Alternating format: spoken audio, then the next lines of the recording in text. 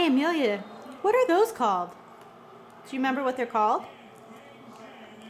Float. What? Float. S'mores. Good. And what's is it kind of gooey? What does it feel like? No, you, you said go down.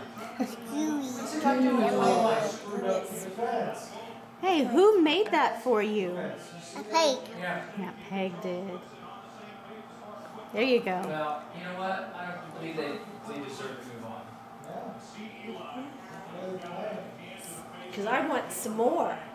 That's why it's called some more. Because you want some more. We're camping. When camping, when you go camping, you can eat them.